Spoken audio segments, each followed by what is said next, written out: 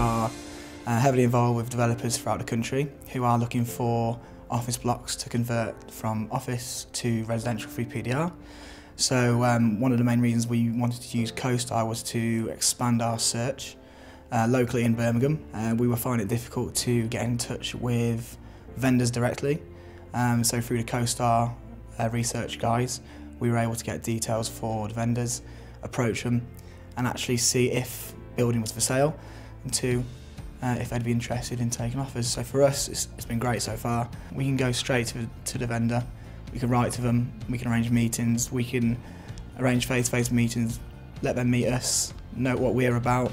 We're an independent agent, we're a small agent, we can't compete with people like Savills, so the way we do business is by meeting people, building rapport, and and doing business that way. It's there's so many resources there for us, which we've only just tapped into last three months. Um, the training's been really good from the guys that come across. Um, they know what we're looking for, uh, and we target all our sessions towards what we're trying to optimise and maximise out of them. I think we used to spend a lot, waste a lot of time not knowing where to look for opportunities, not really knowing who to approach. Um, CoStar just helps everything run a lot smoothly for us, much more efficient.